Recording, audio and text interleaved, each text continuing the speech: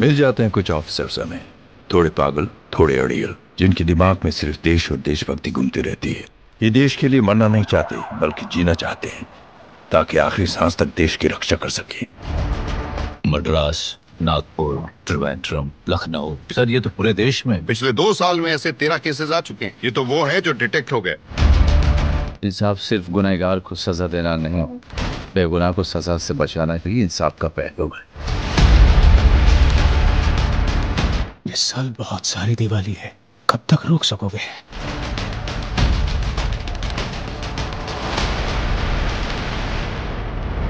मुझे एक ऐसा ऑफिसर चाहिए जो मुझसे भी ज़्यादा बेसब्र हो।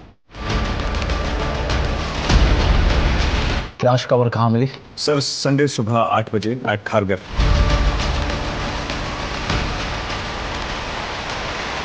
चलिए शुरू से शुरू करते हैं।